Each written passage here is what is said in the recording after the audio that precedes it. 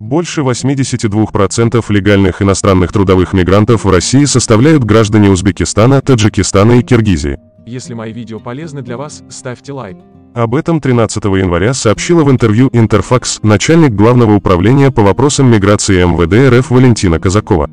С учетом безвизового режима поездок граждан, основными государствами-донорами иностранной рабочей силы для РФ выступают страны СНГ.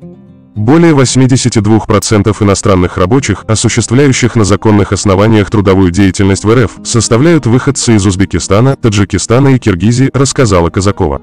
Подчиненная Владимира Колокольцева уточнила, что иностранцы, прибывающие в Россию на срок, превышающий 30 дней, будут обязаны пройти медицинское освидетельствование, а также обязательную дактилоскопическую регистрацию и фотографирование в территориальных органах МВД России.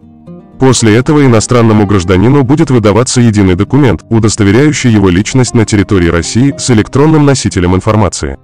Документ позволит получать госуслуги в электронном виде, в том числе через мобильное приложение.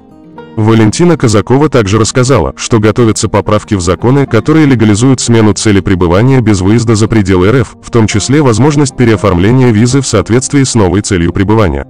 Одновременно закрепляется возможность совмещения отдельных целей пребывания, также иностранцам предоставляется возможность совершать туристические поездки, уточнила Казакова.